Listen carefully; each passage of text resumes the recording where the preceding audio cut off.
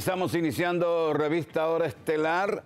Es de la mañana del miércoles 28 de febrero, después de la rendición de cuentas del presidente de la República, los ascensos en los cuerpos militares que fueron muy amplios, con un presupuesto para ello, eh, mayores generales, coroneles ascendidos a generales y después tenientes coroneles, coroneles, mayores, capitanes, tenientes, a sargentos, a cabo, oígame, 7.800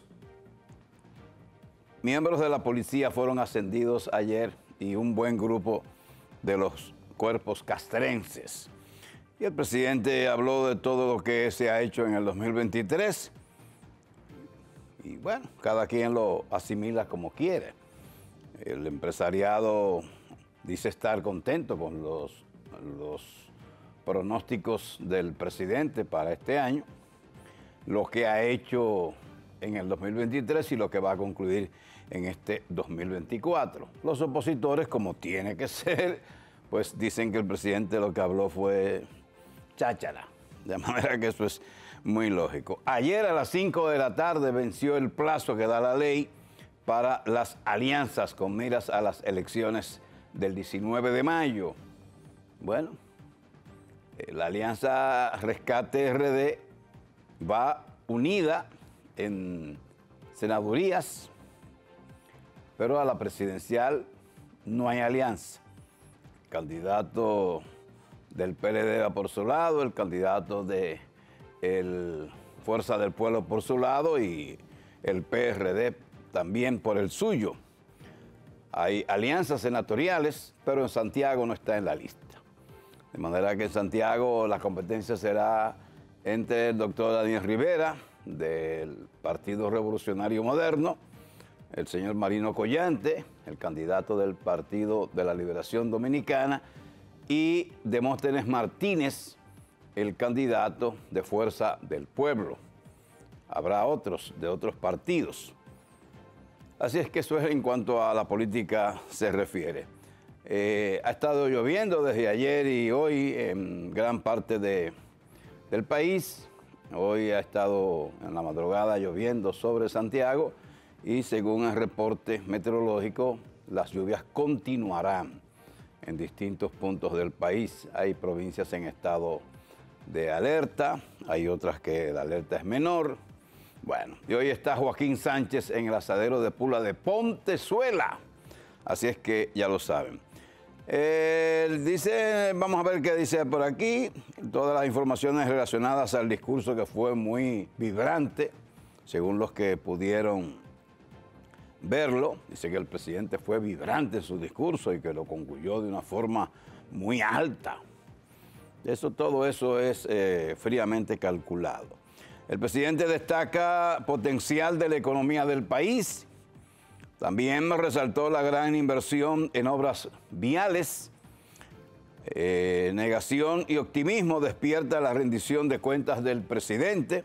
Hay que decir que los legisladores de oposición se marcharon al momento, antes de que comenzara la rendición de cuentas del presidente de la República. No es nada nuevo y tampoco es que será la última vez. El, presidente rinde cuenta exaltando los logros de su gestión y anunciando obras, más hospitales, recuperación de estudiantes y compromiso con la reforma policial. Fueron parte de los temas que enfatizó el mandatario. El PLD y la Fuerza del Pueblo no participarán aliados en la boleta presidencial. Abinader asciende a cuatro mayores generales y a 15 generales de brigadas, o sea que el presidente tendrá sus militares ahora ya desde cero. El presidente ascendió de rango a 7.800 agentes de la Policía Nacional. Matan a tiros a segundo teniente del ejército en Villa Liberación, Santo Domingo Este. Cientos disfrutan del poderío militar de la nación en desfile del aniversario 180 de la independencia nacional. El consejo de Leonel Abinader, tras su discurso, que hable menos y haga más. También como noticias, bueno, antes de seguir con las noticias voy a saludar a Iliana Rosario. Buen día. Iliana. Buenos días. Carlos Manuel está en asuntos policiales hoy en la capital. Es así. Mientras tanto, estoy yo aquí acompañándole al señor Jaime Tomás Frías Carela. Prefiero mil veces ¿Oh, verla a usted a la careta de Carlos Manuel. Dios. Buenos días. Hoy miércoles 28 de febrero. Tendría que ser el último día del mes, pero como es año bisiesto, mañana tendremos un 29 de febrero y hoy damos las gracias a Dios porque usted está aquí con nosotros, porque nosotros nos permite estar a nosotros con ustedes, por esta salud que nos permite tener, por el agradecimiento pleno de la lluvia de esta mañana, de el permitirnos amanecer vivos hoy. Todo eso es motivo de gratitud. Esos pequeñitos detalles que damos por sentado son motivos de gratitud.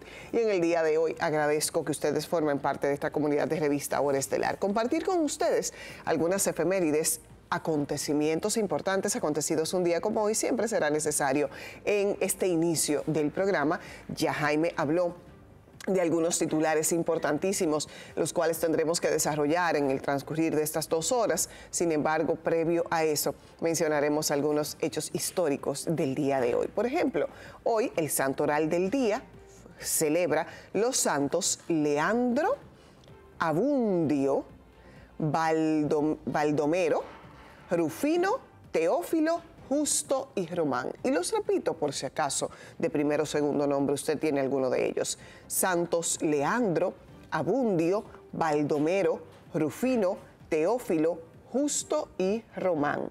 Son los santos del santo oral del día de hoy.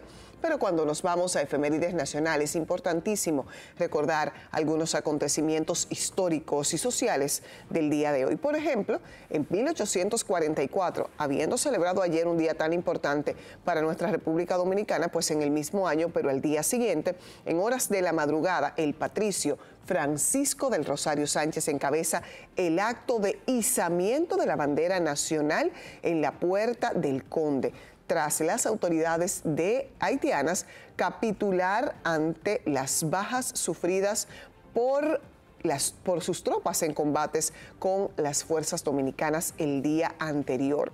La combatiente, un día como 28 como hoy, la combatiente independentista Juana Baltasara, de los Reyes sirve de guardia en una de las fortalezas de Santo Domingo y realiza incursiones atrevidas en el río Osama. Eso también ocurrido en 1844. Ya para 1899, un día como hoy, muere en Santo Domingo el expresidente José María Cabral. Y para 1924, un 28 de febrero, nace en Mao, provincia de Valverde, el barítono Guarionex Aquino Reyes.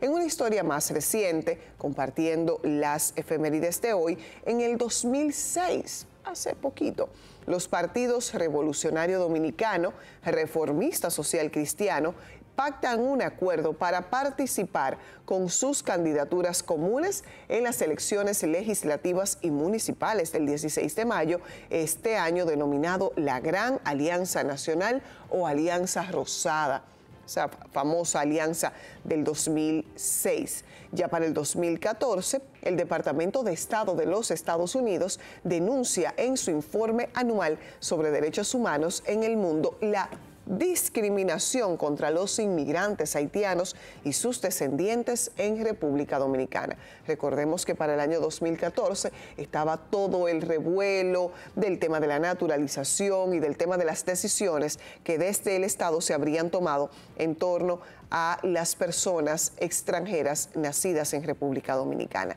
Ya para el 2018, un 28 de febrero, el economista Miguel Seara Hatton afirma que el país se, endeuda 293, 293 pesos cada minuto y cada día 421 mil pesos, por lo que la deuda alcanzaba los 37 mil 255 millones. Es una denuncia que realizaban para el 2018. Y finalmente, en una historia más reciente, en el 2022, debido a las repatriaciones de parturientas haitianas indocumentadas realizadas por el gobierno dominicano, el Comité para la Eliminación de Discriminación contra la Mujer de la ONU demanda del organismo mundial tomar las medidas de lugar para mejorar la situación. Ojalá ese mismo organismo le envíe al Estado dominicano los millones y millones de pesos que le cuesta al país estas parturientas indocumentadas que solo cruzan a esta parte, o una de las razones por la que lo hacen, es a dar a luz en condiciones bastante precarias y en un 90% de los casos sin ni siquiera haber recibido atenciones previas que permitan un, parto seguro y evidentemente todas esas complicaciones también recaen sobre el costo de la República Dominicana. Ojalá ese organismo en el 2022 haya desembolsado un poquito. Y bueno, para finalizar, hoy, que siempre destacamos los días internacionales, eh, hoy es Día de Andalucía. Vaya que es un término que en España lo conocemos o es bastante común. Dice que este 28 de febrero es una fiesta especial en Andalucía, la región más grande poblada en España. El Día de Andalucía o de los andaluces celebran su, identidad, su cultura y la rica historia que distingue a esa tierra del sur de la península ibérica. Vaya mana. Hasta aquí las efemérides y acontecimientos importantes. La este fiscal Jenny Berenice interrogó por cuatro horas a Josel Hernández por falso asalto. Eh, lo del falso asalto ocurrió el lunes. El productor de la cinta Asalto al Progreso afirma que empleados del periódico Nuevo Diario sí tenían conocimiento del experimento social que hicieron. Un experimento social que no fue más que una promoción para la película que se va a estrenar y que ahora todo el revuelo que arma este experimento social, desde mi punto de vista, muy desatinado. Ah, por, eh, sí, sí, desatinado. de todo. Pero el, tema, el tema aquí es, eh, es el mensaje, el mensaje de de, lo que todos los dominicanos estamos viviendo, en ese temor constante de que en cualquier lugar puede ser asaltado. y entonces el precedente que esto sienta para que cualquier otra situación similar pueda ser tomada también como un experimento social. El simple hecho de estar hablando del tema ya le da promoción a su película, si ese era el cometido final, que entiendo que así es, eh, eh, pues lo, ha, logrado. Sin embargo, eh, bastante desatinado y no, no conozco a Yosel, pero, pero desde mi punto de vista es un fajador que no necesitaba de este tipo de situaciones para poder destacar. un material que, según leí, tiene ocho años produciendo. pero para promover una película o lo que sea, lo que él hizo fue espectacular. Ahora, las consecuencias de eso. Justo, eh, justo por eso. Otra cosa. Hay otras formas de hacerlo espectacular sin la necesidad de que lograr probablemente la difusión que logró con esto. Bueno, eso no indica que todo el mundo va a correr a ver la película, porque yo para empezar yo no voy. Para empezar tú no vas a ver nada. Ninguna película hecha en el país la voy a ver, no pierdo mi tiempo con eso. Qué cosa Como un desacierto y una decisión equivocada calificó la noche de ayer el comunicador, actor y productor José Hernández el experimento social. Yo quiero saber cuál es el experimento social del falso asalto a la unidad móvil del periódico El Nuevo Diario la tarde del lunes. Además de reiterar las disculpas en un largo vídeo aclaratorio desde el programa radial El mismo golpe con Jorge Santos, donde labora, Hernández dijo que el plan era llamar la atención de los muchachos jóvenes que no sabían que ocurrió un asalto al Banco del Progreso. Gran cosa que no saben, no saben, no saben los jóvenes ni siquiera quién es Juan Pablo Duarte o quién fue, menos van a tener pendiente un asalto a un banco como que eso fuera algo sumamente espectacular. Entonces, eh, eh, dice que con esto, eh, promover la película Asalto al Progreso, que se estrenará próximamente en los cines. Expresó que cometieron el error y que a raíz de este escándalo estuvo en un interrogatorio de más de cuatro horas en compañía de su abogado con la procuradora adjunta Jenny Berenice Reynoso, describiendo así lo serio que llegó el asunto. Pero no quedó preso. No especificó qué consecuencias o a qué acuerdo llegó tras la reunión con la funcionaria judicial y reconoció que la simulación pudo haber tenido consecuencias fatales. Eso lo admite ahora después de. El actor dijo que quien estaba convocado para hacer el papel de asaltante no pudo ir y que decidió él asumir el rol y se puso la ropa y utilizó una pistola de utilería de cine para hacer este falso asalto. Hoy en mi casa, de madrugada, reflexiono y me pregunto si quizás alguien pasa y nos hace daño a mí y al mensajero, la persona que andaba conmigo expresó. Instó al periodista y gerente de proyectos del nuevo diario, Jaime Rincón, a que deje el recurso de que no sabía, porque él estaba enterado de lo que se iba a hacer. José le pidió disculpas a su familia, al país, a la policía, a la presidencia de la República, quienes se movieron de manera inmediata desde que ocurrió el falso asalto. El 2 de mayo se va a estrenar la película Asalto al Progreso, cinta que tiene más de ocho años en proyecto. Él ya no tiene que hacer nada más de publicidad, pues ya la publicidad la logró de esa manera. Entonces, ahora es que está reflexionando las consecuencias que pudo tener ese asalto. Imagínese usted que en ese momento hubiese pasado por en la calle donde estaba esa unidad móvil del periódico Nuevo Diario, una unidad móvil de la, de la policía, y ¿Y qué hubiese pasado? Que sin mediar ¿Eh? palabras en un intercambio de disparos hubiesen hecho lo propio y lo que, lo que acostumbran a hacer. Por eso considero que desatinado e innecesario ese experimento social para la publicidad de una película en un, en, un, en un, hecho que para los que crecimos en los 90 y los que tienen recuerdos de ese suceso, pues hubiese llamado la atención sin la necesidad de ese, de ese escándalo innecesario. A mí lo que me llama la atención, lo que me gusta es eh, la, la creatividad de un experimento social. ¿Y cuál era el experimento? Que demostrar que, pueden entrar, porque se supone la lógica de todo experimento social es hacer una demostración de un problema social. Y en este caso, pues... algo o hacer algo para aportar por algo. A que para que los jóvenes se enteraran de que hubo un asalto a un banco y los asaltos que hay diario, que son protagonistas los mismos jóvenes que él busca que se enteren que asaltaron el progreso en el 93. Qué, bárbaro, qué forma de justificar lo injustificable. lo, lastimero de esto es que él se va a quedar sin ninguna consecuencia, porque si conversó cuatro horas, yo, no sé para qué tanto conversar sobre eso con, con, la señora Jenny Berenice, cuatro horas conversando con él, ¿para qué? ¿Y, y cuál es la consecuencia? Lo van a, llevar a un tribunal, lo, lo, van a multar aunque sea con un peso, o lo van a llevar a, trabajos sociales para que haga su experimento social de verdad. no, no vamos a ningún lado, entonces no pasa nada. Todo es, cháchara. Es importante a los que nos tocó venir bajo la llovizna que está cayendo sobre Santiago y otros que, están. ahora, pero ah, en la madrugada fue. No, en la madrugada llovió, pero, pero eh, eh, me refiero a la continuidad de esas lluvias y a las informaciones que de manera formal UNAMED está realizando, las alertas que hay, las inundaciones que ya se han producido. Pues la Oficina Nacional de Meteorología informó que el día de hoy, miércoles, las condiciones meteorológicas continuarán dominadas por el viento húmedo en dirección noreste combinado con los remanentes del frente frío.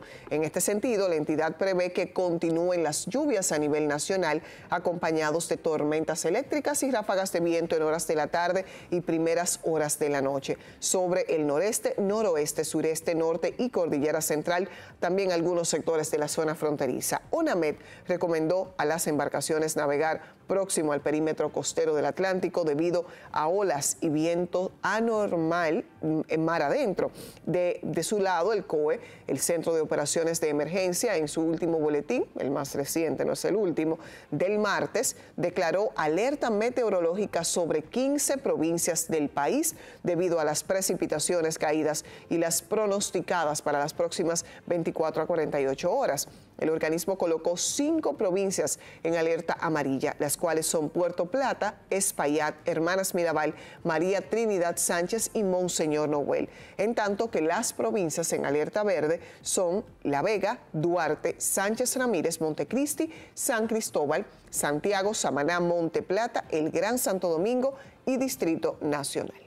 Ahí está. Lo de vientos anormales se parece a temperaturas agradables, porque en el mar se están generando vientos con mayor o menor intensidad permanentemente. bueno, pero a mí me parece mucho más subjetivo el tema de temperaturas agradables, porque lo de agradable lo determina quien recibe la temperatura y quien la siente. Pero lo de anormal sí pudiera calificarse, bueno, e, e, estas olas entran en el rango de lo normal, estos vientos no, y bueno, pues ahí un poco más Los vientos en el mar son constantes, un, Ay, pero hay vientos, claro, pero hay vientos anormales que pueden ser en mayor o menor proporción dependiendo del decir que hay vientos de tal, de tal fuerza, de tal eh, fortaleza, con eso es lo que debe decir la Oficina de Meteorología. Y dejar esos clichés que está utilizando de hace 100 años. Tienen que modernizarse ya en lo que van a decir con sentido común. Eso es lo que hay que hacer. Vamos a los mensajes 625, hora estelar.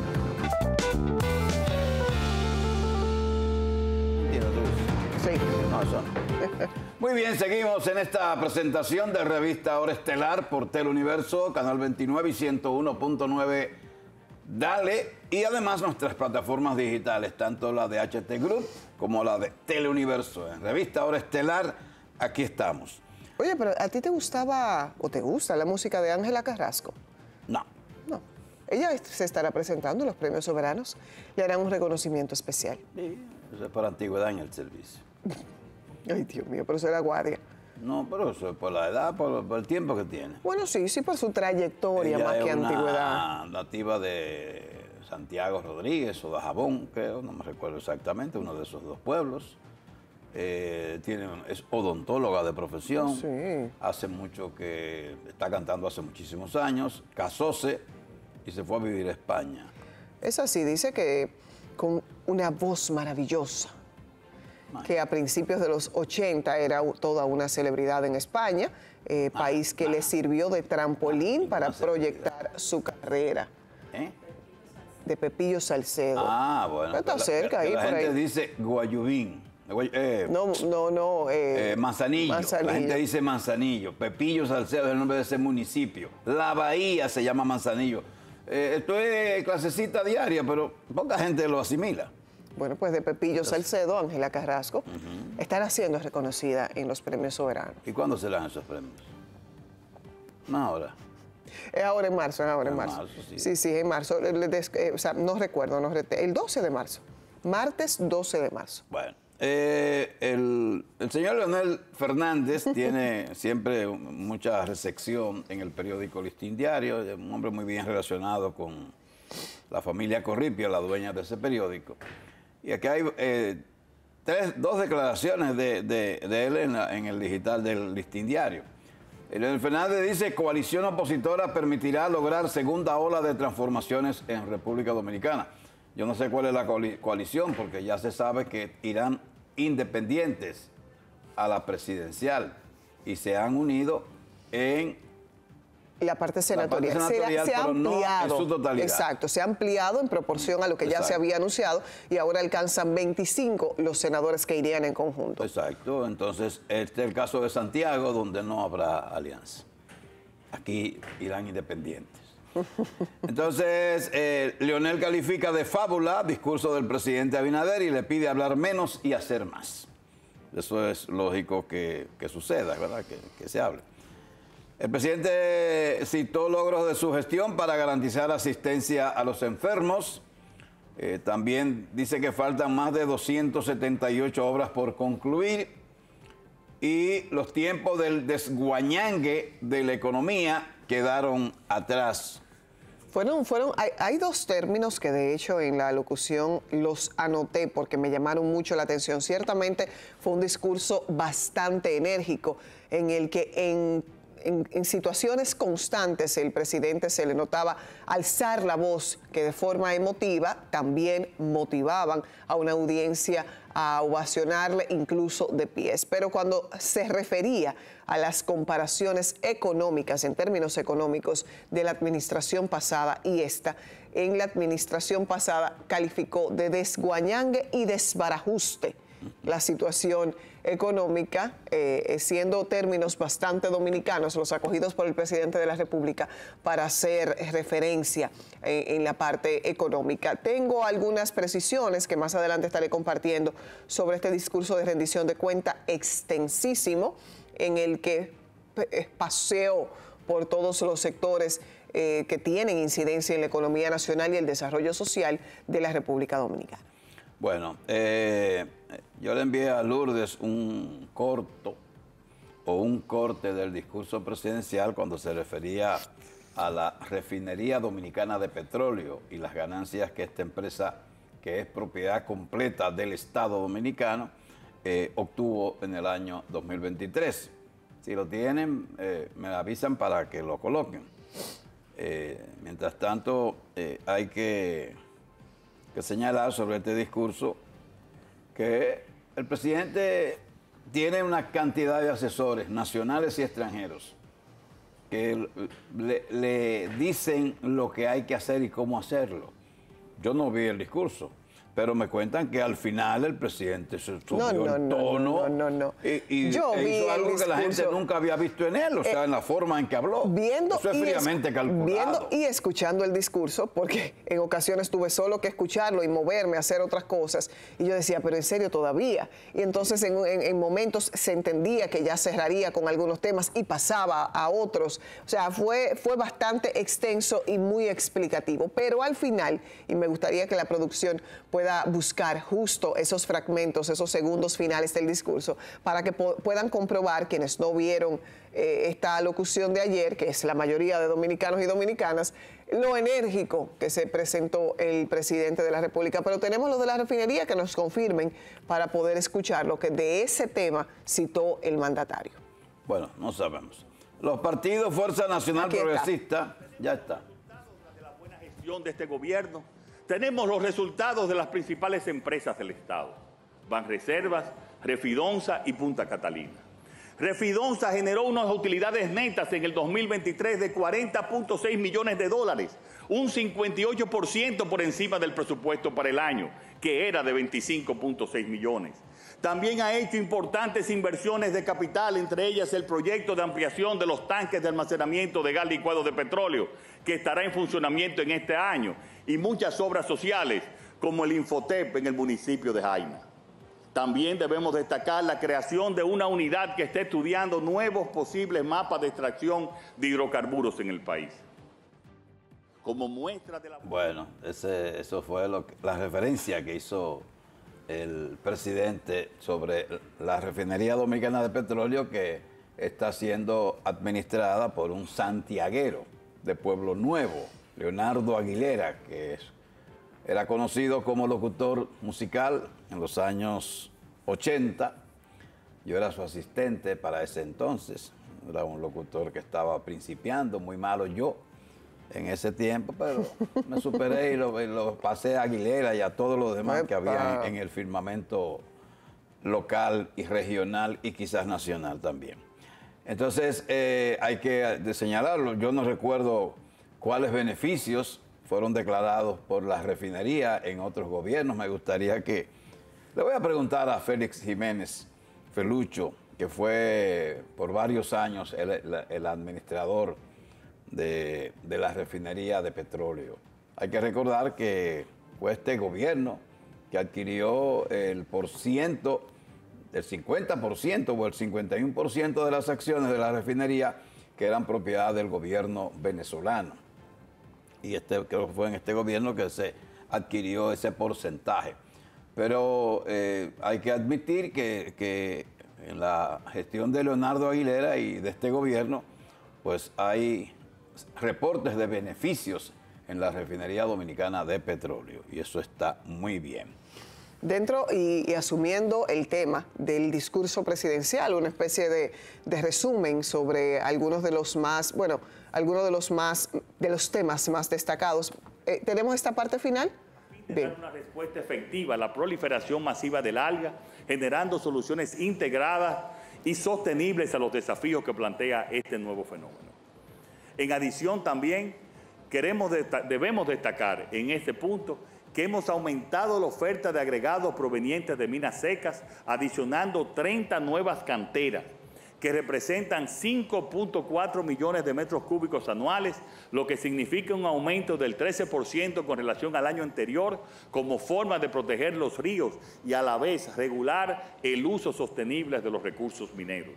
Y estaba hablando de la parte de la minería en, cuanto al tema de energía y minas y cómo se unifica con la parte de la refinería en esto de las investigaciones. Eh, por un lado, en la, investigación para saber si tenemos terrenos potables en la producción de hidrocarburos y en la parte minera, pues el tema de las tierras raras, que el mismo ministro eh, de Ingeniería de Energía y Mina había hecho referencia semanas anteriores. Pero, tenemos eh, tierras raras, hay posibilidades. hay posibilidades de tierras raras y hay posibilidades de tierras raras en un porcentaje incluso mayor que países que presentan ya la producción confirmada.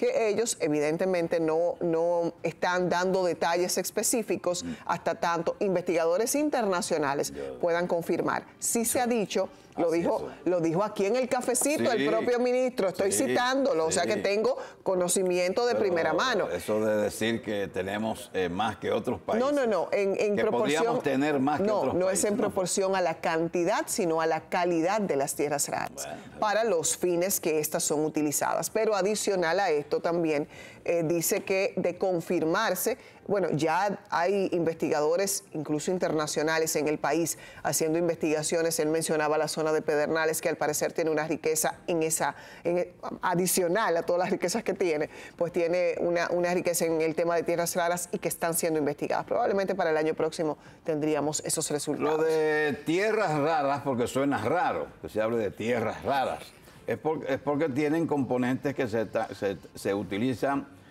hoy día, especialmente en los chips. Para la fabricación. Para la fabricación de, de chips. y microchips, que son muy utilizadas para estas compañías internacionales que, no, no, que, que, se están haciendo demanda y hay una competencia entre Rusia, entre China y Estados Unidos por, por ver cuál puede lograr primero fabricar los semiconductores en español, que son los chips.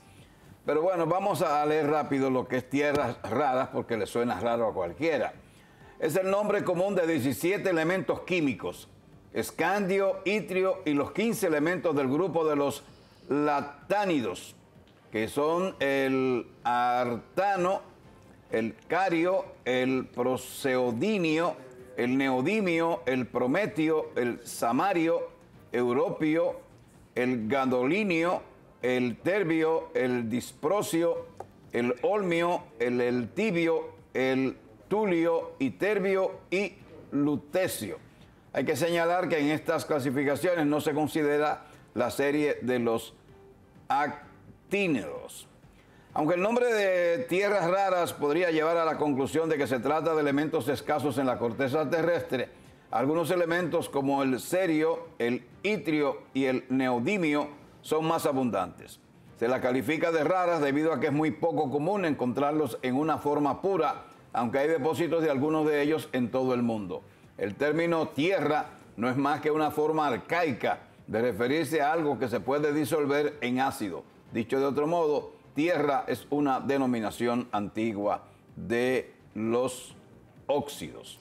Para que entendamos. Eso es tierra rara. Para que entendamos de manera aplatanada, en el caso de que se confirme este descubrimiento de que sean tierras raras que se puedan utilizar para la fabricación de estos eh, semiconductores, pues el país pudiera obtener eh, recursos importantes en términos económicos para la comercialización de, estos fines. Entonces, eso, eso es un descubrimiento importante en la República Dominicana. Igual, Antes, igual que las investigaciones para ver si hay petróleo se han hecho tantas investigaciones y no se ha descubierto nada. Bueno, pero en Guyana se descubrió en estos días, entonces todavía tenemos esperanza. No, en estos días no, Guyana ya se sabía que tenía Sí, pero pertenecía a Venezuela y que no ah, sé qué, y el, lío. pero es, relativamente reciente la proporcionalidad de la riqueza que tiene. O sea, se sabía que había, pero ahorita ahí nos dan un susto y somos, ricos y no lo sabemos. que ese susto viene desde Charco Largo, del gobierno de, Antonio Guzmán Fernández, dijo que había petróleo y resultó que fue un fiasco. No había nada, por lo menos no, no en forma comercial, porque de que haya algunas venas de petróleo es posible que sí, de hecho se han visto, pero de que esté en cantidad suficiente como para hacer una inversión para la explotación de esas venas es otra cosa, porque para sacar petróleo hay que hacer una inversión multimillonaria. Después de la pausa, prometo un resumen del discurso para el que no pudo verlo, algunos de los temas más importantes citados por el presidente. Muy bien, vamos a los mensajes. 6:46 minutos, hora estelar.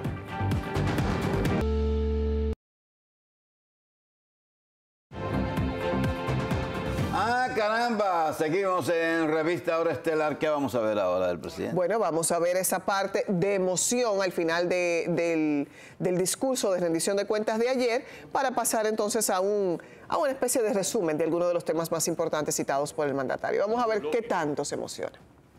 Aeronáutica Dominicana. Estas aeronaves están destinadas al entrenamiento de nuevos pilotos y el patrullaje de la zona fronteriza. Son capaces de realizar todas las maniobras del entrenamiento militar, además de misiones de patrulla silenciosa, y algunas de ellas estarán ubicadas en la base aérea de Barahona para reforzar la seguridad fronteriza. Para ver, les invito a ver esta tarde en el desfile. Como ciudadanos responsables, nuestro deber nuestro deber es sostener la antorcha de la tradición y transmitirla instante, intacta a las generaciones por venir. Que cada acto, cada sacrificio sea un tributo a la rica historia que nos legaron aquellos que forjaron nuestra patria. Asumir la responsabilidad, preservar este legado, nos convertimos en artífices de un destino arraigado en las glorias de nuestro país que la llama eterna de nuestra herencia ilumine el camino hacia un mejor mañana. Que Dios bendiga a la República Dominicana. Después de casi dos horas de discurso, en el que en, el último tramo de un discurso bastante extenso se veía un presidente cansado, o sea, no es fácil y sobre todo seguir los prompters con naturalidad, pues ya al final procuraba dejar de manera eh, eh, vibrante es este mensaje patriótico en el día de ayer. El presidente Abinader vio un par de discursos del doctor Joaquín Balaguer que terminaba así. Quiso, quiso emularlo. Eh, la, verdad es que los, los mandatarios recientes no tenían esa costumbre. Pues sí, no, no, hace, hace una conexión patriótica. Por lo menos dos personas o tres, como la que tuve contacto en la tarde, los escuché decir viste como el presidente habló. A la gente le gusta eso. sí, y el doctor Joaquín Balaguer, que era un genio, lo utilizaba en su discurso. Incluso llegaba hasta dar en, la mesa, si tenía mesa, y daba un hombre frágil físicamente, sin embargo sacaba energía para dar en la mesa. Mira, varón, como habló el presidente. Eso gusta. Y eso es fríamente calculado, eso no es ese eso no es espontáneo, eso es frío. No, no, no, todo, todo eso es bastante ensayado y todo eso busca eh, eh, justamente motivar esas emociones de quien tiene contacto con, el discurso. Un presidente enérgico y un presidente que puso bastante énfasis en las ideas que, les, que le interesó destacar de manera específica. Hay, hay transmisiones que se encargan de contar las ovaciones y los aplausos. Tal fue el caso de la transmisión especial de Alicia Ortega y ella daba cuenta de que hubo 15 ovaciones y al menos 125 aplausos espontáneos en el transcurso del, discurso. Sin embargo, destacamos algunos temas que fueron importantes y hay que señalar por la vinculación local y nacional que tienen. Por ejemplo, eh, se repetía de manera eh, constante, el cambio es una realidad irreversible. Y esta palabra de irreversible cobra una importancia en un año electoral y sobre todo con la contundencia de unas elecciones municipales eh, en, en, en el fin de semana pasado. Dice que somos, el, el presidente de la República dijo que somos el país número uno en América Latina en libertad de expresión y libertad de prensa. Esto según el índice de Chapultepec que se lanza todos los años y que desde el 2020 la Sociedad Interamericana de Prensa pues lo comparte. La libertad de prensa ha sido tan amplia que se ha convertido en libertinaje. Sí, sí, totalmente. Entonces ahí tendríamos que medir qué tan beneficioso para el país puede ser el destacar esta libertad de expresión y prensa. También, evidentemente, aprovechó el escenario para tirar su cascarita a los gobiernos pasados de Leonel Fernández y Danilo Medina en cuanto a los hoyos fiscales y el gasto en la en donde utilizó los términos desguañangue y desbarajuste cuando citaba el déficit de un 6.3%. También habló de la construcción de que se construirá el primer hospital materno infantil en Barahona, algo importante y necesario y ojalá se replique en otras provincias del país y otros hospitales en la región sur. Habló de esta construcción. Dijo también que en marzo se estará inaugurando la UAS en Asua y en junio en Neiva. Este resumen lo estoy ofreciendo gracias a informaciones del briefing. En, lo que lleva de gobierno, también señaló el presidente Luis Abinader que se ha asignado al Banco Agrícola un monto de 20 mil millones para incentivar la producción agropecuaria. Eso es un 70% más de los 12 mil millones que se asignaron en los cuatro gobiernos anteriores la licitación para la construcción de la autopista del Ámbar, de la que tanto hemos hablado. Dijo el presidente de eso? Dijo que será el proyecto vial de mayor inversión en el país, aunque no especificó fechas ni el, ni el punto en el que iba este proceso de licitación. El monorriel de Santiago, que tendrá su primera prueba en abril, empezando a operar la primera fase a finales de año y la segunda fase a finales del 2025. También el discurso, en el discurso eh, estaban presentes algunos de los que ya se han beneficiado del desarrollo turístico del nuevo Pedernales, como lo calificó el presidente de la República. Que la idea de que en los próximos años haya una universidad, preferiblemente de la UAS, a menos de 40 kilómetros de donde vive cualquier joven del país. Y ya los salarios de los policías. Una universidad. Una universidad que esté cerca. ¿No sería mejor un politécnico? Bueno, en adición debería ser el, binomio perfecto para que esos, esos hoyos. Que hay universidades en este país. Bueno, pero esas. Politécnicos que el, el, tema es que la. Eh, universidades muy malas la mayoría. La construcción de mayores, de mayor cantidad de recintos de la UAS no resuelve el problema de base de la UAS. Está creando un Entonces, de la UAS. aquí el vender como un logro las inauguraciones constantes de nuevos recintos no es tal si continuamos con las deficiencias graves graves, educativas que se tienen ahí dentro y evidentemente la inestabilidad de cualquier estudiante que estudie en la UAS y que sabe que los años se le multiplicarán por mucho para poder concluir sus Mientras estudios. más extensiones de la UAS se inauguren, más se convertirá la UAS en un monstruo inmanejable y en, un, en, en una zona, en un espacio donde se premia la vagancia donde se le paga a profesores más que cualquier otra universidad, trabajando menos. Esa es la realidad de la Universidad Autónoma. Entonces deberíamos ponerle un freno a la UAS y si se quieren hacer extensiones, buscar otra universidad que no sea la UAS. Bueno, también hablo de los salarios de los policías, los cuales ya alcanzan los 500 dólares mensuales promedio.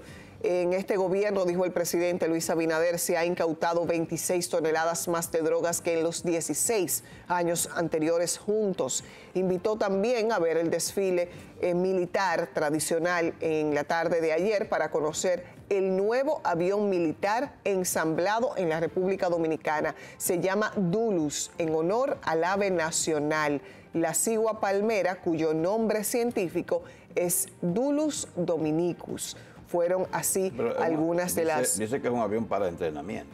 Sí, Yo Me, me, hubiese gustado escuchar del presidente decir sobre asuntos militares que la base aérea de San Isidro, su dotación iba a ser eh, instalada en Barahona, que las fortalezas que tiene el ejército llevadas a la frontera y que ahí se construirían fortalezas modernas ciudades para los militares en toda esa franja fronteriza. Esa es mi opinión. ¿Qué hacemos nosotros con la segunda brigada de infantería del ejército, la general Fernando Valerio, en la entrada a Santiago? ¿Para qué?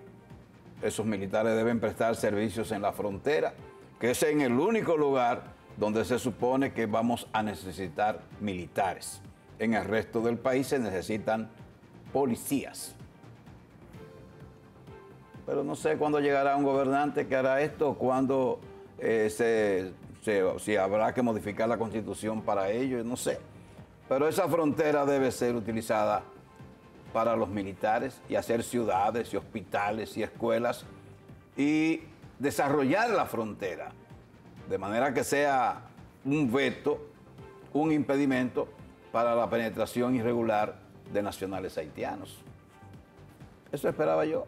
No lo esperaba porque sé que eso no se va a dar, no sé cuándo, pero en su discurso de 57 páginas, que luego fue compartido de manera íntegra a los representantes de los medios de comunicación, también el presidente de la República destacó, habló poco del tema haitiano, un tema que se, había, se pensaba que iba a abundar un poco más, pero sí dijo que gracias a las, a las gestiones del MIREX, eh, se está moviendo lo de la misión en Kenia. También el dice, es el Ministerio de, así es, de, Relaciones exteriores.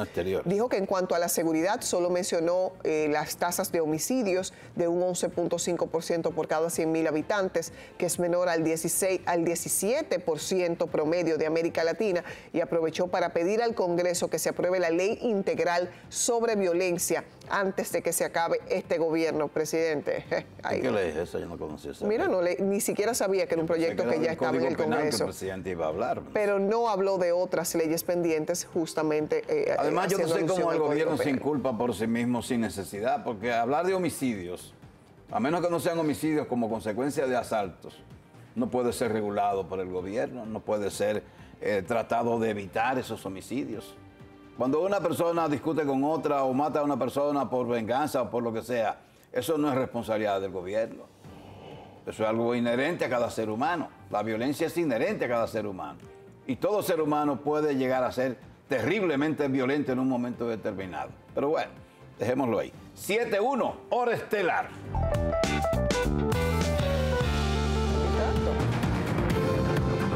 Muy bien, seguimos en revista Hora Estelar para hoy a las 6 de la tarde. El Banco Popular está invitando a clientes y relacionados a la celebración de los 60 años de esta institución, cuya idea nació en Santiago, aunque se fundó en Santo Domingo. Y estos 60 años van a ser celebrados en el Centro León a las 6 de la tarde.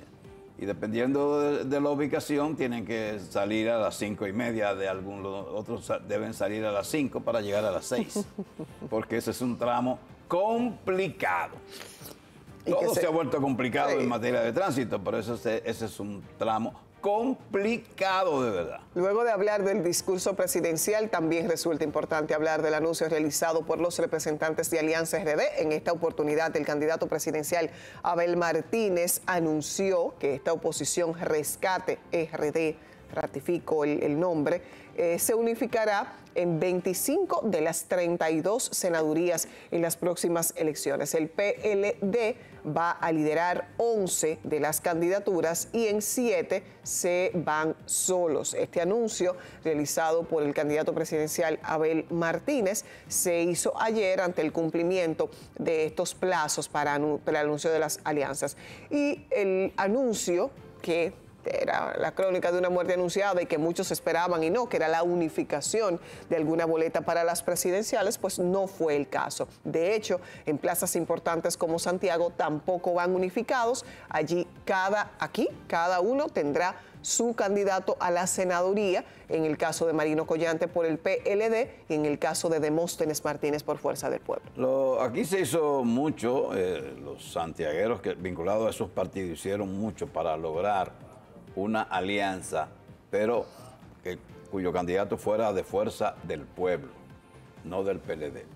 Pero Marino Collante, compadre del señor Danilo Medina, eh, no estaba en eso y fue el señor Danilo Medina el que lo llevó a que fuera el candidato a senador y él se puso a trabajar basado en eso fundamentalmente. De manera que no se logra, entonces cada, cada partido va a rascarse con sus propias uñas y ya veremos cuál será el resultado de este panorama electoral para el 19 de mayo. Serán las elecciones congresionales y presidencial. La lectura, la lectura clara que hay que dar es que lo que se esperaba luego de los resultados de las elecciones municipales el pasado 18 de febrero era una unificación más contundente por parte de una alianza que se supone quiere recuperar espacios eh, que evidentemente en términos municipales pues eh, eh, se, estila o se ven muy, muy vencidos. Ahora, para, para congresuales y presidenciales, la fortaleza que pudiera exhibir la oposición estaba cifrada en estas alianzas que se concretaron. 25 de 32 senadurías puede no sonar a poco, por siendo una cantidad importante. Sin embargo, el tema de no haberse podido poner de acuerdo en lugares importantes como Santiago y otras demarcaciones del país, en términos de, las presidenciales, que era muy poco probable para quienes son entendidos políticos y conocen la idiosincrasia, no de los partidos, de los candidatos de, de estos partidos que representan la Alianza Rescate RD en términos de PLD y Fuerza del Pueblo. Sin embargo, desde mi punto de vista y la percepción como ciudadana, es que no exhiben los músculos que deberían exhibir para unas próximas elecciones presidenciales y congresuales. Se verá en, mayo qué es lo que va, la cantidad de votos que va a recibir especialmente Fuerza del Pueblo. Porque Fuerza del Pueblo alegaba un crecimiento, hablaba de dos millones de personas inscritas en el partido y, y, qué se hicieron en las municipales es la interrogante que se hace cualquiera. Entonces, bueno, no estuvieron interesadas en las alianzas de, municipales. Bueno, ya veremos entonces qué se va a demostrar en la congresional y en la presidencial. Entonces ya veremos para, para saber si Fuerza del Pueblo queda sigue, sigue estando en tercer lugar, por debajo del PLD. Entonces, oígame, eso va a ser frustratorio para los de ese partido y especialmente para el doctor Leonel Fernández, porque el pugilato en estos días era que, que el candidato a la presidencia de Rescate RD fuera el doctor Leonel Fernández. Pero los números no aportaban esa, esa posibilidad, los números evidenciaron un partido que estaba por debajo, que está por debajo del PLD, ambos muy disminuidos ante el partido de gobierno. Y la gente se pregunta, ¿será, será igual para el 19 de mayo? Recordemos las declaraciones del mismo expresidente de la República y candidato presidencial de Fuerza del Pueblo cuando citaba de importantes pero no determinantes las elecciones municipales frente a las elecciones congresuales de mayo. Sin embargo, también recordemos que las tendencias marcan la intención de voto y en una victoria arrolladora como la que tuvo el Partido Revolucionario Moderno y aliados en la mayoría de municipios y de plazas distritales, es también muy predecible que el dominicano en esa tendencia de votar por el que va a ganar, no sabiendo que el que gana, gana porque usted vota, no es lo contrario, no es viceversa, pero bueno, y aún así no ejercemos nuestro derecho, pero en ese sentido, entonces, esa tendencia que ya se ha comenzado a marcar desde las municipales pudiera verse reflejada en la Pero además yo no creo que eh, la mayoría de los votantes eh, le interese ejercer el sufragio por un candidato a diputado ni por un candidato a senador. No, evidentemente. por, el presidente. Claro que sí. Ahora. por el candidato a la presidencia de cualquier partido. En este caso, en este caso, como se unifica con las, con las presidenciales, pues, ah, ¿qué, es el tema de cuando se unifican las elecciones? La figura presidencial, cual que sea, arrastra cualquier liderazgo. Y en este caso, el de cualquier diputado y el de cualquier eh, senador. los que defienden la, la separación de los procesos alegan que lo hacen para que no, el arrastre no, no, sea Pero a eso voy. completo como, como sucede. A eso voy. No, y el fortalecimiento de los liderazgos locales, que siempre va a ser necesario. Sin embargo, quienes hemos hecho un poco más de conciencia y, y en plazas como Santiago, el Gran Santo Domingo, hablar de los candidatos a senador, ni siquiera vamos a hablar de los candidatos a diputado, cobra una relevancia mayor y sobre todo por las figuras que se están disputando. ¿Pero y qué hace un senador? Porque la pregunta es, eh, es lo mismo, ¿qué hace un senador que no sea leyes? ¿Y qué hace un diputado que no sea leyes? Porque entonces nuestros aspirantes a ganar curules prometen obras que tú dices, pero acá, pero no es presidente para prometer obras. Las puedes diligenciar, pero eso de ahí a prometerles es otra cosa. Entonces, hay que, hay que ver y hay que esperar lo que va a pasar el 19 de mayo. Recordemos que para cualquier partido político tener un Congreso a favor Ah, siempre bueno, va a ser sí, importante. Tenerlo a favor, Y tener mayoría es otra por- cosa. ah, pero a eso voy. Pero no porque sea una pieza relevante un legislador. Pero, y sobre eso. todo, y sobre todo, porque en términos de, de los votos en el Congreso, un senador de Pedernal es lo mismo que un senador de Santiago, como el mismo, senador del Gran Santo Domingo, es lo, lo mismo. mismo. Ahora, las figuras que están debatiendo estas plazas, insisto, en Santiago, en Santo Domingo y en otros puntos trascendentes, será importante para el partido de gobierno, el oficialista, tener, colocar a sus candidatos en esas plazas. Y entonces, ahora se verá esa medición de fuerza y esta adición, ah, que ahora suman 25 candidaturas en conjunto en el ámbito senatorial.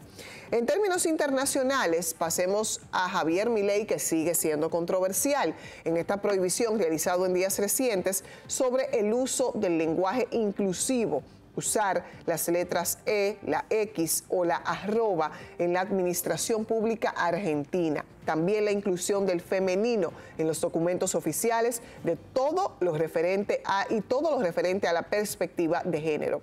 Las principales críticas de la decisión tienen que ver con la que interpretan como un ataque los movimientos feministas o de la comunidad LGTBIQ además que contradice los tratados internacionales de derechos humanos y abandona el respeto a las diversidades, según han dicho estos movimientos. Supuestamente eso lo hizo él para evitar eh, discusiones sobre el tema, tomó esa decisión. Ah, pero es lo que está propiciando una discusión no- sobre el tema. no, que él va a dejar de lado el término, el término y la acción de lo inclusivo, porque dice que la gramática de la lengua castellana es lo suficientemente clara y es la autoridad en materia idiomática.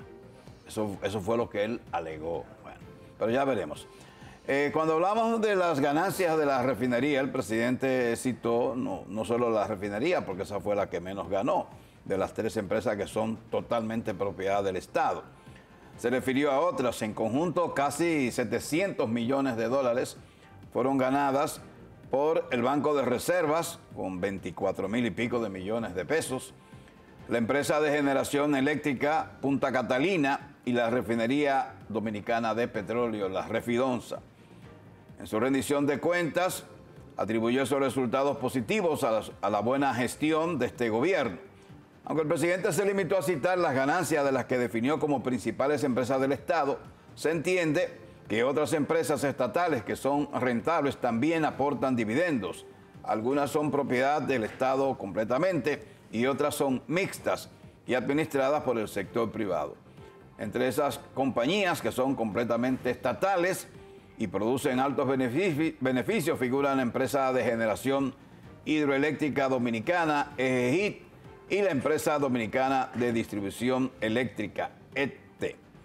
Además, el Estado es socio en las empresas Eje Jaina y Eje Itabo, que dejan beneficios y cuya participación el Estado recibe a través del FOMPER, entidad que también capta los beneficios que le corresponden al Estado de los resultados de la empresa Molinos de Osama.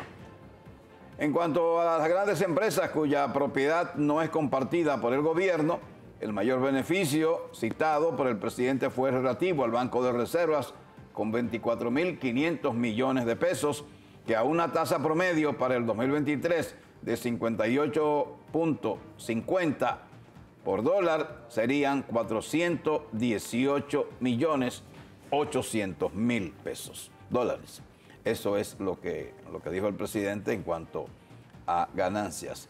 La estatal Refidonza obtuvo beneficios por 43 millones, aunque también hizo inversiones eh, en, unos, en unos tanques para eh, gas licuado y también en la 500 millones que está invirtiendo en un politécnico en Jaina para que sea administrado por el Infotet. Y además las exploraciones que se están haciendo en la búsqueda del petróleo. del petróleo.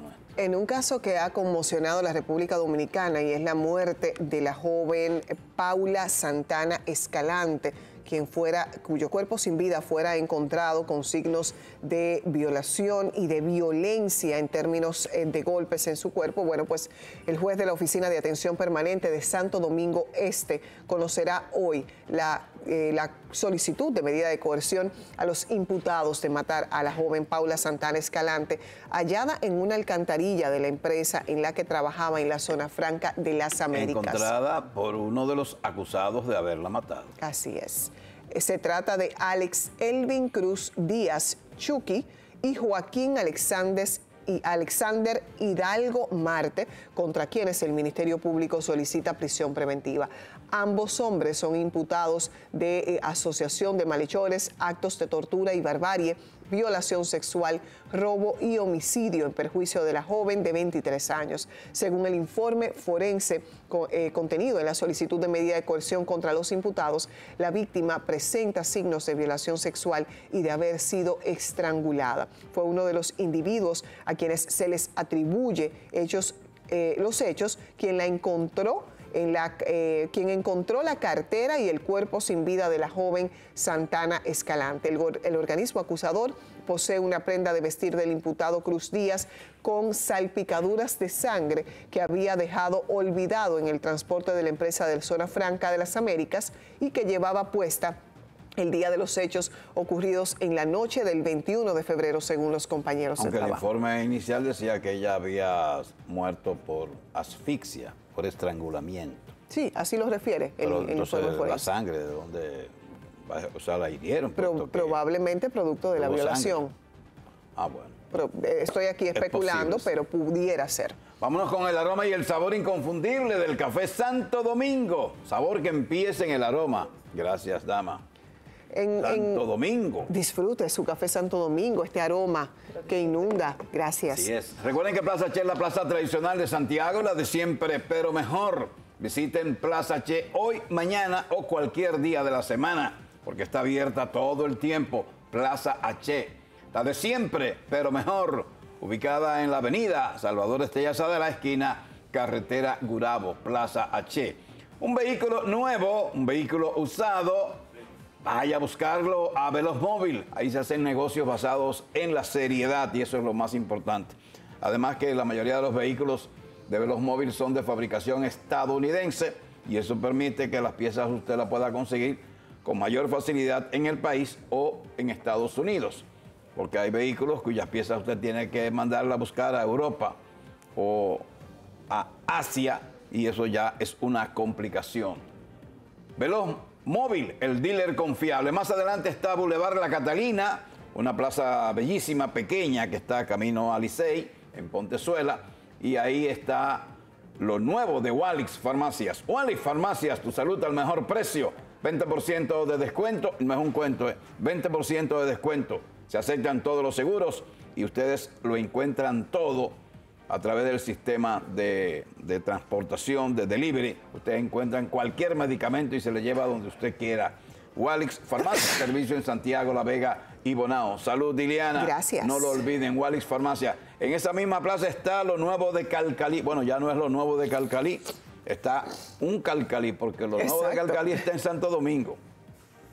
Tengo que verificar cuál es la dirección del Calcalí Santo Domingo, que son espacios muy agradables también habrá uno en el, en el Homes Health Center, que es el nuevo espacio del Hospital Metropolitano, aunque será un hotel. Homes Health and Wellness eh, eh, Center. hay, que, pronunciarlo al Pacífico. sí, se me complica un poco ahí, además que la mayoría no sabe eh, relacionar una cosa, porque eso implica un estilo de vida saludable entonces, como que... Pero es más de bienestar. Entonces, me imagino que todas esas amenidades y facilidades con las que contará el espacio ayudan al bienestar. Ya no solo en términos de salud física, sino. Exacto. Entonces, es bueno que la gente sepa que ese edificio está dividido en dos partes. Una para lo que es el Hospital Metropolitano, con ciento y pico de consultorios médicos muy bien instalados. Y la otra parte totalmente independiente es la parte de hotel. En un hotel usted puede ir a quedarse cuando quiera.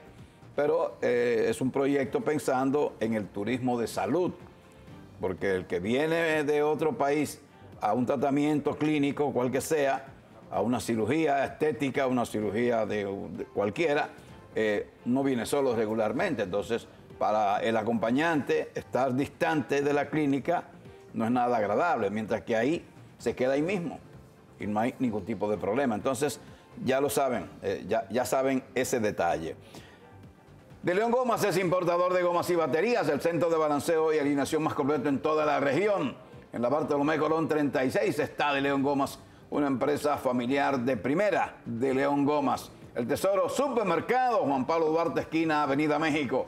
El Tesoro lo tiene todo y un trato personalizado que es único del Tesoro. Recuerden que eh, Joaquín Sánchez está esta noche en, en Pula Pontezuela Recuerden también a los invitados que el Banco Popular Dominicano estará celebrando sus 60 años de fundación hoy a, las a partir de las 6 de la tarde en el Centro León. Y cuando, hablaba de que vinculé lo del el Homes eh, Health, eh, eh, que lo que iba a decir era que ese, ese centro está proyectado para inaugurarse en el mes de abril. de manera que será el primero de varios hoteles que se va a inaugurar. Entonces, aprendí algo visitando e, e, esa zona, ese espacio, ese edificio. Aprendí algo. Cuando hablamos de una cadena eh, internacional, regularmente las estadounidenses para hoteles de ciudad, eh, no es la cadena la que opera el hotel. La cadena vende su nombre y le presenta al propietario del hotel, del edificio, le presenta tres empresas que ellos avalan para ser los operadores.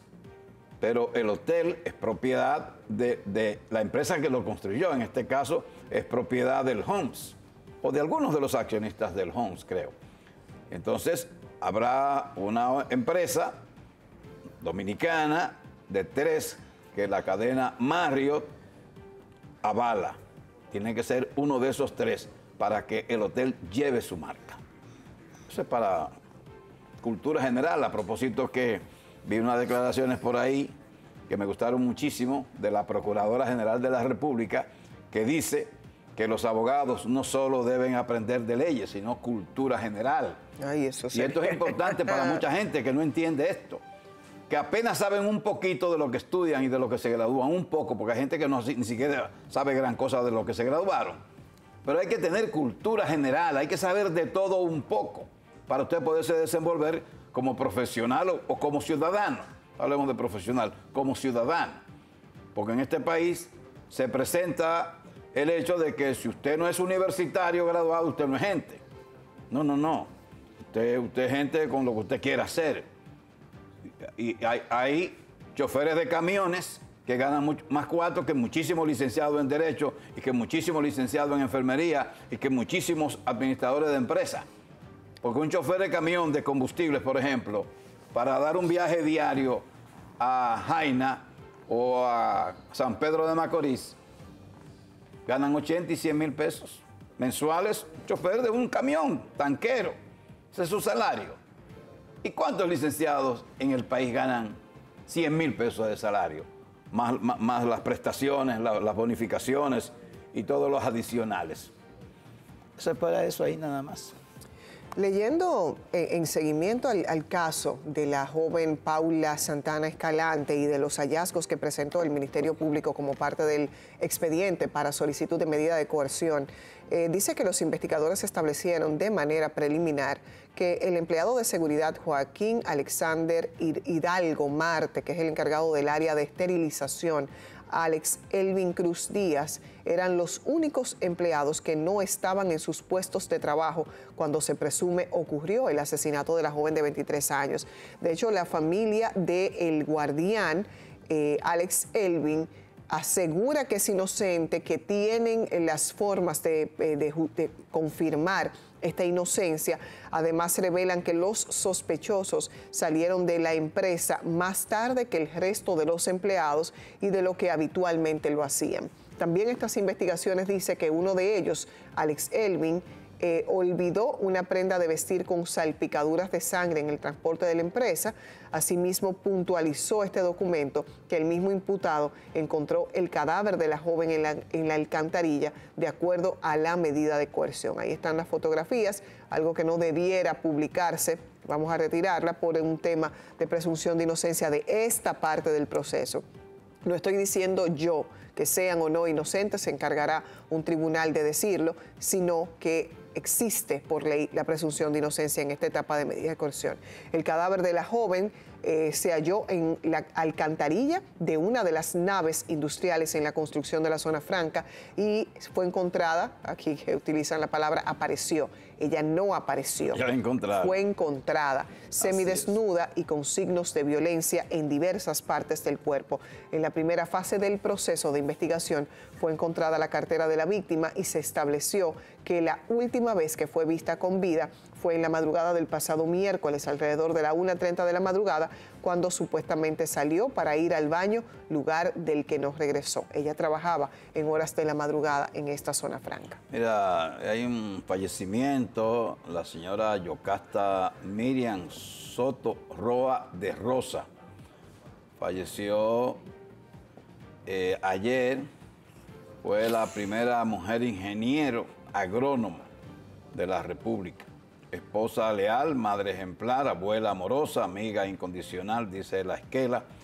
Ella era la esposa del ingeniero Franklin Rosa, que fue eh, juez de la Junta Electoral de Santiago.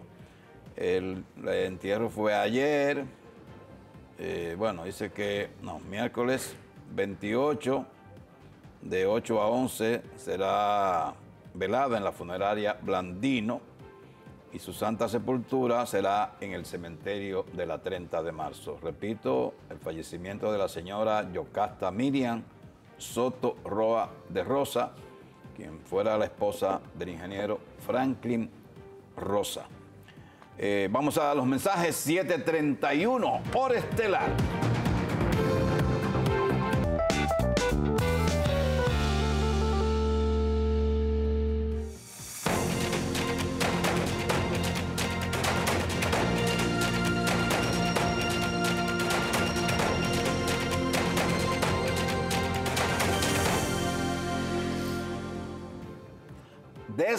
Desguañangue. Esa no fue la que utilizó el ah, presidente. Pero a propósito de que la bueno, utilizó el presidente. pues a propósito de ese término, Pedro Enríquez Ureña documentó la palabra desguañangar en el libro El Español en Santo Domingo. Esto fue en 1940. Que significaba para entonces desmanejado o deshecho o des, deshecho. Actualmente significa cansancio, falta de fuerzas, causa de debilidad, pérdida de control sobre algunas partes del cuerpo. De ahí que desguañangar es lo mismo que destrozar o aplastar. La palabra también es una canción de la Orquesta Santa Cecilia de Luis Alberti, compilado en el álbum de los merengues del jefe. Es probable que esta palabra haya sido utilizada por primera vez en el Congreso Nacional de nuestro país por el presidente Luis Abinader ayer en su discurso, ya que no hay registros electrónicos de discursos de mandatarios anteriores que utilizaran ese término, desguañangar. ¿Eh? El término desguañang y de barajute que utilizó el presidente ayer. Ah, miren, ahí está.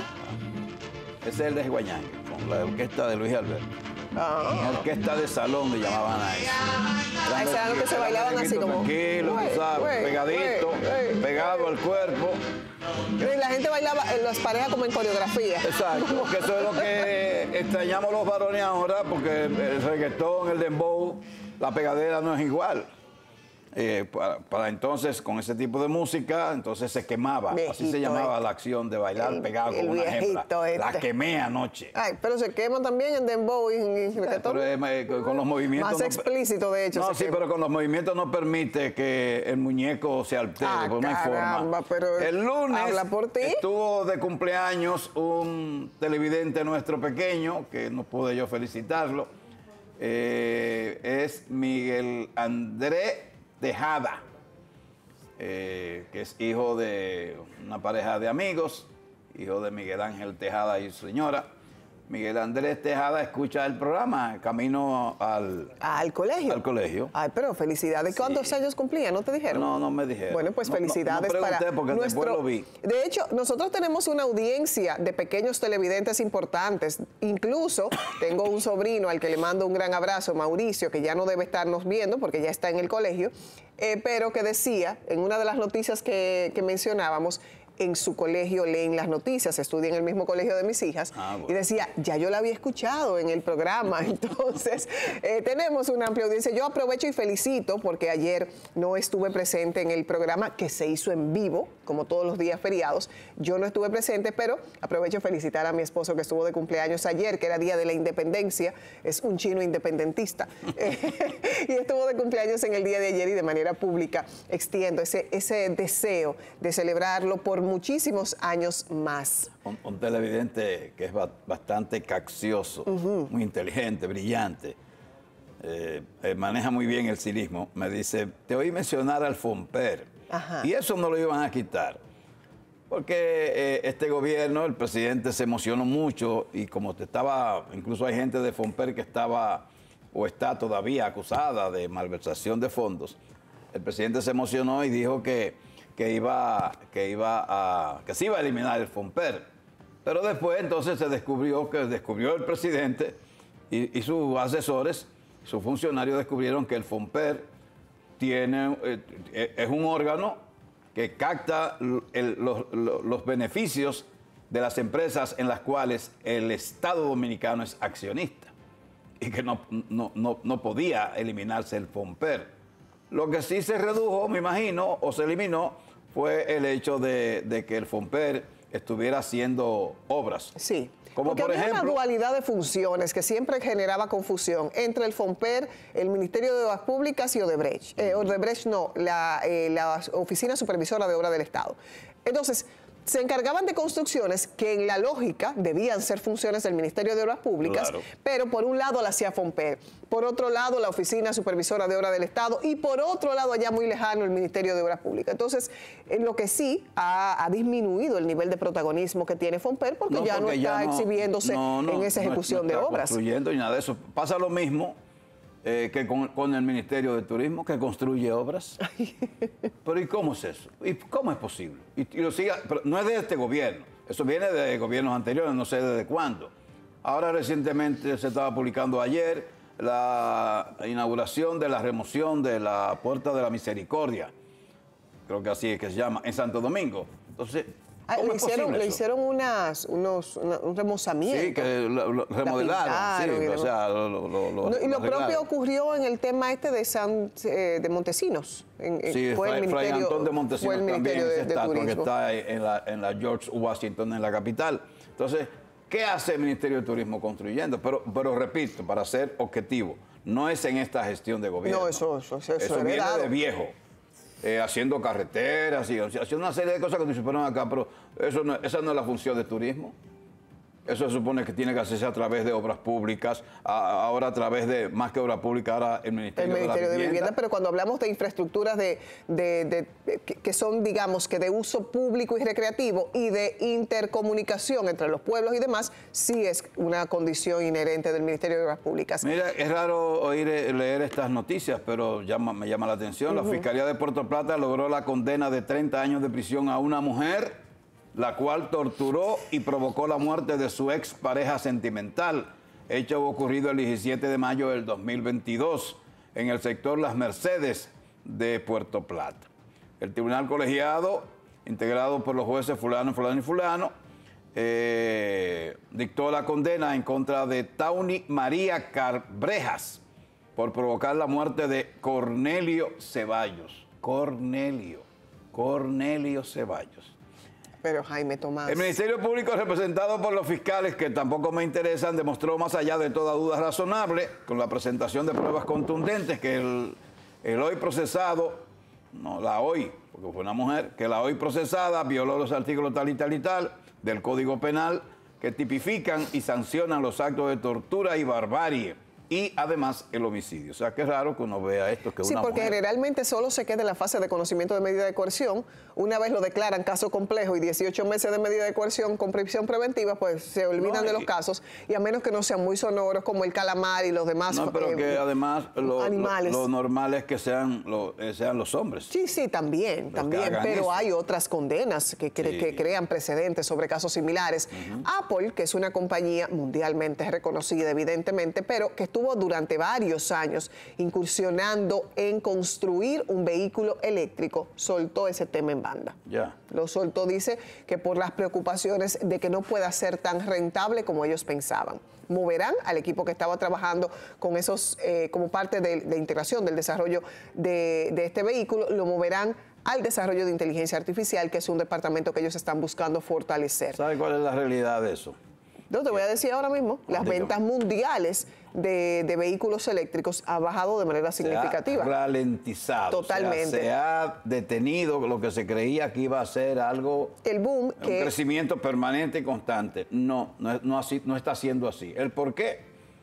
Hay, Nadie hay varios factores que son exacto valedera. porque, porque es eh, multifactorial. Dice que en los últimos meses se espera que siga bajando este, este pico de ventas y sobre todo porque siguen siendo muy costosos en comparación con los de combustión. Entonces, cuando, cuando se compara, pues no tienen ese protagonismo que se desea. Yo seguiré comprando mi Yo quisiera un vehículo eléctrico, yo No, sí. yo no. Aspiro, ni siquiera de lujo. No. Es, es un, un tema hasta, hasta de comodidad. Por el a menos que no me saque la loto, no voy a poder comprar un vehículo cero kilómetros, entonces yo prefiero uno de Pero tú combustión. por lo menos ten el bolo. Yo ni siquiera eso y estoy esperanzada Ah, no, yo en que yo mis amigos cercanos, sobre todo los que juegan la loto en los Estados Unidos, se lo saquen pronto para... no, para, para que tomar decisiones tú te sacas 100 importantes. millones de pesos de aquí, ¿qué tú vas a hacer con eso? Por eso es. Pagar la deuda y todo, Pero y te a todas, quedar sin deuda, todas mis esperanzas están cifradas en que tú te lo saques. Yo, Sí, no, salgo de ahí. Te regalo tu carrito de eléctrico. No, No, no, eh, bueno, sí está bien, no, Tu pero tú me, tú me lo das en vehiculito dinero y yo de ahí decido qué sería prioridad en ese momento. Yo te doy el dinero. Ya nos hemos librado con un par de millones. Sí, sí, sí, pero el problema es que yo voy, voy cojo en, en el libramiento porque tú no juegas.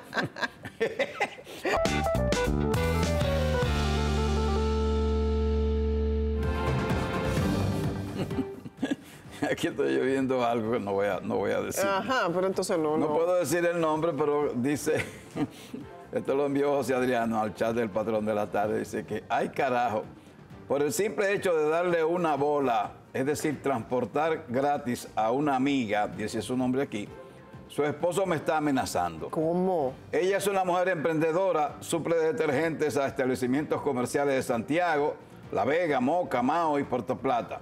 Como su vehículo está dañado, sanamente la llevé a un motel de la comunidad de Canabacoa Ay, de. Santiago, donde ella tenía que cobrar un dinero y llevar a la vez mercancías. Pero un chismoso amigo del el marido le contó lo que no era y ya me está amenazando.